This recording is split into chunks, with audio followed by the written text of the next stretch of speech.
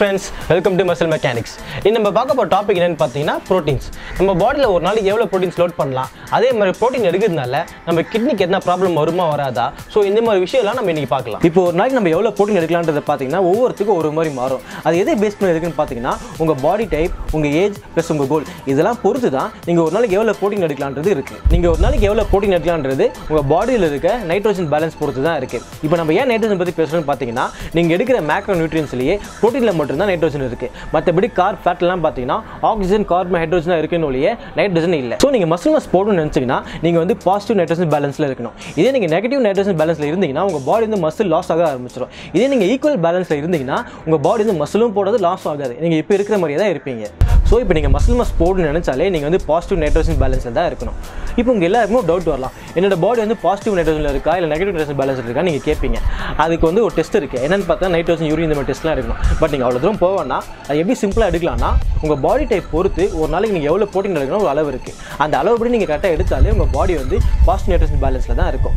இப்போ நம்ம அந்த அளவுலாம் என்னன்றதை இப்போ நம்ம பார்க்கலாம். இப்போ நம்ம பாடி டைப்பை நம்ம ஒரு நாலு கேட்டகரியாக பிரிக்கலாம். ஃபஸ்ட் கேட்டகரி என்னென்னு பார்த்தீங்கன்னா ஜிம்முக்கே போகாதவங்க. செகண்ட் கேட்டகரி என்னன்னு பார்த்தீங்கன்னா வெயிட் லாஸ் பண்ணுறவங்க தேர்ட் கேட்டகரி யாருன்னு பார்த்தீங்கன்னா வெயிட் கெயின் பண்ணுறவங்க அதேமாதிரி ஃபோர்த் கேட்டகரி யாருன்னு பார்த்தீங்கன்னா நல்லா ஃபிட்டாக இருக்கவங்க. ஸோ இப்போ இந்த நாலு கேட்டகரியுமே ஒரு நாளைக்கு எவ்வளோ ப்ரோட்டீன் லோட் பண்ணுறாங்கன்றதை நம்ம பார்க்கலாம். ஃபஸ்ட் கேட்டகரி யாருன்னு பார்த்தீங்கன்னா ஜிம்முக்கு போகாதவங்க அதுக்கப்புறம் ஆஃபீஸ்லாம் போயிட்டு வருவங்க வீட்டிலே இருக்கிறவங்க இவங்களாம் இந்த கேட்டகரியில் வருவீங்க. இன்றைக்கி பொதுவாக எல்லாம் என்ன நினைக்கிறீங்கன்னா ஜிம்முக்கு போகிறவங்க மட்டும் தான் ப்ரோட்டீன்ஸ்லாம் எடுக்கணும். நான் இந்த நார்மலாக லைஃப் லீட் பண்ணுறவங்களே எது வேணாம் அப்படின்னு நினச்சிட்டு இருப்பீங்க. பட் அது ரொம்ப தப்பு. நீங்கள் ஒரு ஹெல்த்தி லைஃப் லீட் பண்ணுறதுக்கு உங்களுக்கு ப்ரோட்டீன் ரொம்ப அவசியம். நீங்கள் எவ்வளோ ப்ரோட்டீன் எடுக்கலாம்னு பார்த்தீங்கன்னா உங்கள் body weight into zero point eight grams of protein வரையும் எடுத்துக்கலாம். செகண்ட் கேட்டகரி யாருன்னு பார்த்தீங்கன்னா வெயிட் லாஸ் பண்ணுறவங்க இப்போ பொதுவாகவே வெயிட் லாஸ் பண்ணுறவங்க நம்ம ப்ரோட்டீன் எடுக்கக்கூடாதுன்னு நினச்சிட்டு இருப்பீங்க. அது ரொம்ப தப்பு. நீங்கள் கண்டிப்பாக ப்ரோட்டீன் எடுக்கணும். ஏன்னு பார்த்தீங்கன்னா நீங்கள் வெயிட் லாஸ் பண்ணும்போது உங்கள் பாடியில் ஃபேட் லாஸ் ஆகிறது மட்டும் இல்லாமல் கூடவே மசிலும் சேர்ந்து லாஸ் ஆகும். ஸோ அந்த மசில் லாஸ் ஆகாமல் ப்ரிசர்வ் பண்ணுறதுக்காக உங்களுக்கு ப்ரோட்டீன் ரொம்ப ரொம்ப முக்கியம். இப்போ வெயிட் லாஸ் பண்ணுறவங்க எவ்வளோ ப்ரோட்டீன் எடுக்கணும்னு பார்த்தீங்கன்னா அதுக்கு முன்னாடி நீங்கள் உங்கள் டார்கெட் வெயிட்டை ஃபிக்ஸ் பண்ணிக்கணும். ஃபார் எக்ஸாம்பிள் நீங்கள் ஒரு ஒன் டென் கேஜிலேருந்து எயிட்டி கேஜிக்கு வரணும்னு நினச்சிங்கன்னா உங்கள் டார்கெட் வெயிட் பார்த்தீங்கன்னா அந்த எயிட்டி கேஜி தான். இப்போ அந்த எயிட்டி கேஜி நீங்கள் பவுண்டாக கன்வெர்ட் பண்ணணும். அப்போ பார்த்தீங்கன்னா ஒரு ஒன் செவன்ட்டி ஃபைவ் பவுண்ட்ஸ் வரும். ஸோ அந்த one seventy five grams of protein வந்து நீங்கள் எடுத்துக்கணும். அந்த one twenty five grams of protein நீங்கள் எடுத்தால் தான் நீங்கள் வெயிட் லாஸ் பண்ணும்போது உங்கள் பாடியில் ஃபேட் மட்டும் லாஸ் ஆகுமே தவிர உங்கள் மசில் வந்து அப்படியே இருக்கும். இப்போ நீங்கள் ஆவரேஜாக பார்த்தீங்கன்னா உங்கள் total body weight into one point six gram to two point three gram of protein வரையும் எடுத்துக்கலாம். இது நீங்கள் எப்படி எடுக்கலாம்னு பார்த்தீங்கன்னா அது நீங்கள் கேலரி டெஃபிசிட் டயட்டில் இருந்துக்கணும். நீங்கள் கேலரி டெஃபிசிட் டயட் என்னன்னு தெரிஞ்சுக்கணும்னா எங்கள் வெயிட் லாஸ் வீடியோ பார்த்து தெரிஞ்சுக்கோங்க. தேர்ட் கேட்டகரி பார்த்தீங்கன்னா வெயிட் கெயின் பண்ணுறவங்க இப்போ வெயிட் கெயின் பண்ணணும்னா நீங்கள் வந்து கண்டிப்பாக கேலரி சர்ப்ளஸ் டயட்டில் இருக்கணும். நீங்கள் கேலரி சர்ப்ளஸ் டயட் பற்றி தெரிஞ்சுக்கணும்னா எங்கள் வெயிட் கெயின் வீடியோ பார்த்து எடுத்துக்கோங்க.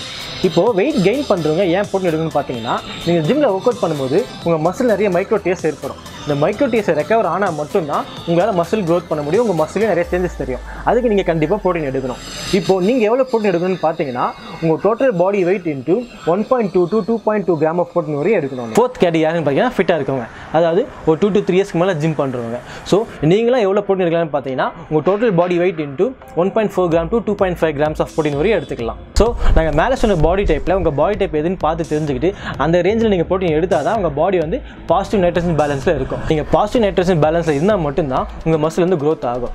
அதே மாதிரி நீங்கள் ப்ரோட்டீன் எடுக்காமல் என்ன தான் நீங்கள் ஜிம்மில் ஹெவியாக ஒர்க் அவுட் பண்ணாலும் உங்கள் பாடியில் கண்டிப்பாக ஒரு ரிசல்ட் கூட காட்டாது. இப்போ நாங்கள் சொன்ன லெவலுக்கு மேலே நீங்கள் அதிகமாக போட்டு எடுக்கும்போது என்ன ஆகும்னு பார்த்தீங்கன்னா உங்கள் பாடியில் ப்ரோட்டீன் அதிகமாகி அந்த ப்ரோட்டீன் வந்து உங்களுக்கு சுகராக மாறிடும். ஸோ சுகராக மாறும்போது என்ன ஆகுன்னு பார்த்தீங்கன்னா உங்களுக்கு இன்சுலின் லெவல் அதிகமாகிடும் அப்போ உங்கள் பாடியில் ஆட்டோமேட்டிக்காக ஃபேட் அதிகமாக போட ஆரம்பிச்சிடும் அதே மாதிரி நீங்கள் ஹை லெவலில் ப்ரோட்டீன் எடுக்கும்போது என்ன ஆகுன்னு பார்த்தீங்கன்னா உங்களுக்கு ப்ரோட்டீனில் பாஸ்ட் பிரஸ்னோ ஸ்டிமுலண்ட் இருக்கும். அது என்ன பண்ணுன்னு பார்த்தீங்கன்னா உங்கள் தூக்கத்தை அது ரொம்ப டிஸ்டர்ப் பண்ணும். நீங்கள் நிறைய பேருக்கு பார்த்தீங்கன்னா ஒரு பயம் இருக்கும். என்னென்னு பார்த்தீங்கன்னா ப்ரோட்டீன் அதிகமாக சாப்பிட்றதுல நம்ம கிட்னி வந்து ஃபெயிலியர் ஆகிடும் நம்ம கிட்னியில் ஸ்டோன் வந்துடும் அப்படின்னு நீங்கள் நினைப்பீங்க.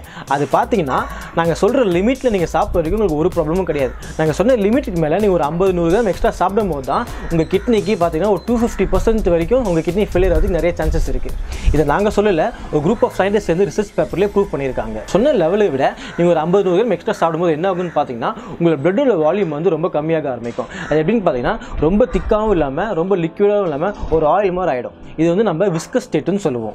உங்களோட பிளட் வந்து விஸ்கஸ் ஸ்டேட்டுக்கு போகும்போது என்ன ஆகுன்னு பார்த்தீங்கன்னா உங்களோட பிளட் ப்ரெஷர் வந்து இன்க்ரீஸ் ஆகும். அப்படி இன்க்ரீஸ் ஆகும்போது என்ன என்ன ஆகும்னு பார்த்தீங்கன்னா உங்களோட கிட்னிக்கு ரொம்ப ஸ்ட்ரெஸ் கொடுக்கும். அதே மாதிரி நீங்கள் ஹை லெவலில் ப்ரோட்டீன் எடுக்கும்போது என்ன ஆகும்னு பார்த்தீங்கன்னா உங்கள் பாடியில் இருக்கிற வாட்டர் வெயிட் கம்மியாகும். ஸோ அப்போ என்ன ஆகும்னு பார்த்தீங்கன்னா உங்கள் பிளட் யூரியா நைட்ரஜன் லெவல் கம்மியாகும். ஸோ நீங்கள் டீஹைட்ரேட் ஆகிடுவீங்க இந்த மாதிரி ஆகும்போது என்ன ஆகும்னு பார்த்தீங்கன்னா உங்கள் கிட்னியில் கிட்னி ஸ்டோனோ இல்லை கிட்னி டிசீஸோ வரதுக்கு நிறைய சான்சஸ் இருக்குது இப்போ நான் இந்த கிட்னி ப்ராப்ளம் சொன்னது நீங்கள் இதை பார்த்து நீங்கள் பயப்பட வேணாம். இது எப்போ வரும்னா நீங்கள் ஹை லெவலில் ப்ரோட்டீன் இன்டேக் பண்ணால் மட்டும்தான் உங்களுக்கு இது பிரச்சனைலாம் வரும். நாங்கள் சொன்ன லெவலுக்குள்ளே நீங்கள் ப்ரோட்டீன் சாப்பிடும்போது உங்களுக்கு எந்த பாதிப்பும் எந்த பிரச்சனையும் வராது. அதே மாதிரி நாங்கள் ப்ரோட்டீன் சொல்கிறதுலாம் வெறும் ப்ரோட்டீன் பவுடர் மட்டும் கிடையாது. நாங்கள் ப்ரோட்டீன் ஃபுட்ஸ் ப்ளஸ் பவுடர் சேர்ந்து தான் சொல்கிறோம் நீங்கள் ப்ரோட்டீன் ரிச் ஃபுட்லாம் தெரிஞ்சுக்கணும்னா எங்கள் ப்ரோட்டீன் வீடியோ பார்த்து தெரிஞ்சுக்கோங்க. உங்களுக்கு எங்கள் வீடியோஸ்லாம் பிடிச்சிருந்தா லைக் பண்ணுங்கள் அதேமாதிரி நீங்கள் கமெண்ட் நிறைய பேர் நிறைய விஷயங்கள் கேட்குறீங்க எங்கள் எல்லாத்தையுமே ட- டக்குன்னு ஃபாலோ பண்ண முடியல. நாங்கள் சீக்கிரமாக அதுக்கு எல்லாத்துக்குமே வீடியோ போட்டுறோம் அதையும் உங்களுக்கு தெரிஞ்சுக்கணும்னா எங்கள் இன்ஸ்டா ப்ளஸ் எஃபி பேஜுக்கு நீங்கள் பர்சனலாக மெசேஜ் பண்ணுங்கள் நாங்கள் கண்டிப்பாக உங்களுக்கு எல்லாத்தையும் கிளியர் பண்ணுறோம் மறக்காமல் எங்கள் சேனலை சப்ஸ்கிரைப் பண்ணிவிடுங்க பக்கத்தில் இருக்க பெல் ஐக்கனையும் கிளிக் பண்ணிவிடுங்க